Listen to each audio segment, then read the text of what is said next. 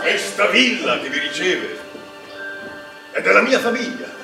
Il vostro buon senso vi ha portato qui. Perciò divertitevi. Dobbiamo vivere a cuor contento. Questo è il proposito che ci ha fatto fuggire dalla città. Propongo a noi tutti di inventarci una felicità e il piacere di trovarsela inventata. Ma meglio ancora sarebbe se ci raccontassimo delle storie.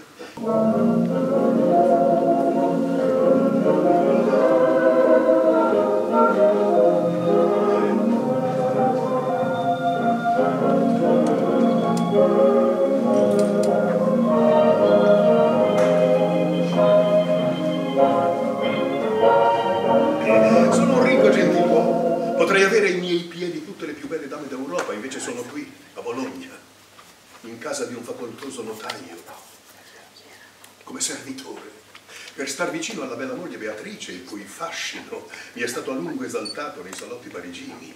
Mio marito se ne va a caccia di uccelli e io me ne sto qui a rompermi le scatole. Sarà fatto. Mando subito un servitore a prenotare. Desidera altro. È che non so cosa fare. Che noia la vita delle donne maritate senza figli. Adesso tu te ne vai in giardino con un bel bastone in mano e riempi Galo di insulti e fai finta di averlo scambiato per me e gliene dai di santa ragione con il bastone. Brutta porca! Allora sei venuta davvero? Credevi forse che io potessi fare un torto al mio padrone? Te lo do io il benvenuto! Ah!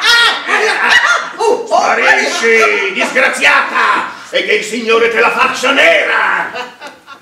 A Perugia viveva un gran riccone, Pietro di Vincione. Se vedi passare un giovane di aspetto piacevole, gradevole, ma, ma soprattutto forte, e muscoloso.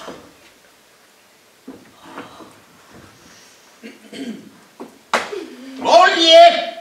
Sono tornato! Madonna santa! Nascondi qui. Ti sarai strafogato a finire la cena così in fretta. Io sono una donna normale, come tutte le altre, e che anch'io ho le mie voglie. E se batto altre sponde per farmi giù le ragnatele che mi lasci tu, è colpa tua. Già ti faccio un favore, perché io almeno non vado a staglieno, garzoni! Ah, adesso basta! Vai in cucina e prepara qualcosa da mangiare. Mi pare che il giovanotto, qui come me, non abbia ancora messo niente in bocca.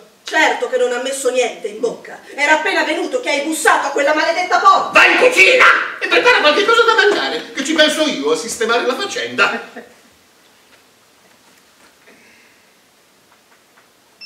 Vieni. Bello. Vieni.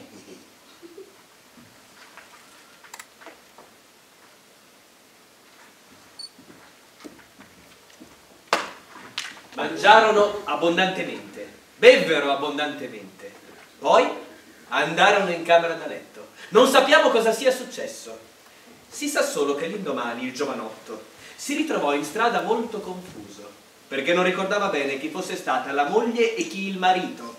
In conclusione, una sintesi. Da sempre pan per focaccia quella brioche di marito che ti ritrovi. E se non puoi farlo subito, metti a lievitare il pane piano piano, finché non salta fuori un bel cornetto. Se poi tuo marito vuol portartelo via dalla bocca, allora...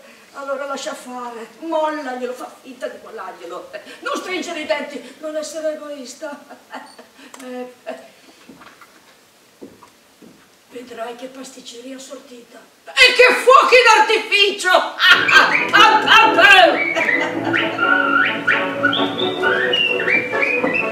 Adesso siamo a Siena, con due signorotti molto agiati, Spinelloccio Taverna e Zeppa di Vino. Io ti giacciono, gli angeli belli a mille stanno in cielo. Vado a sistemare quell'affare della vigna.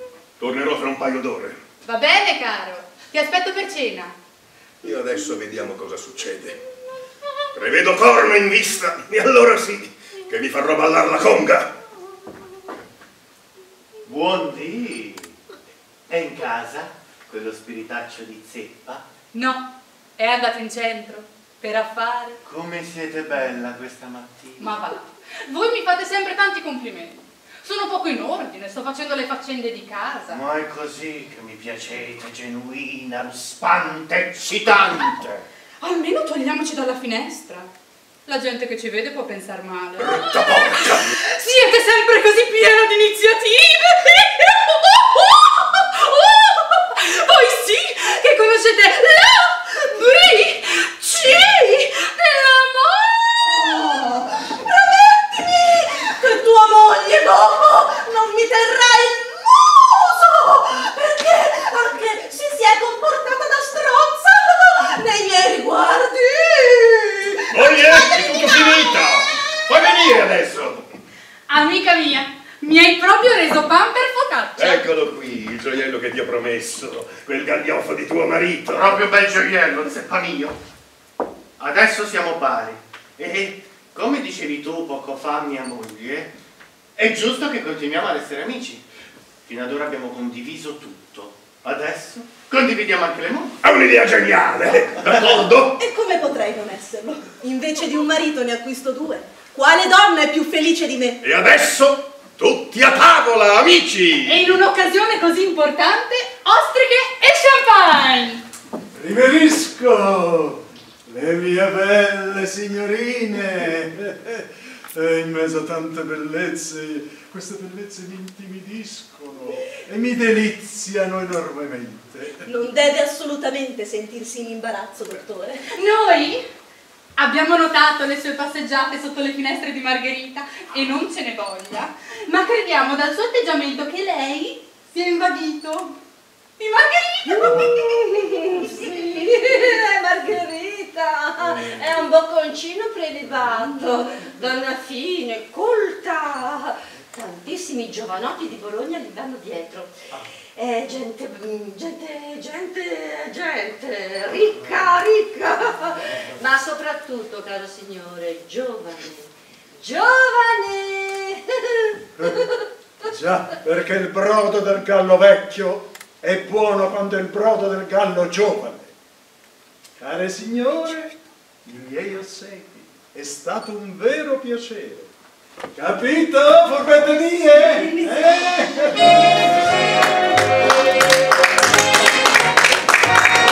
Eh, l'amore, l'amore, care signore, è la tragedia come noi anziani. Amiamo di più, forse il risultato per voi è inferiore.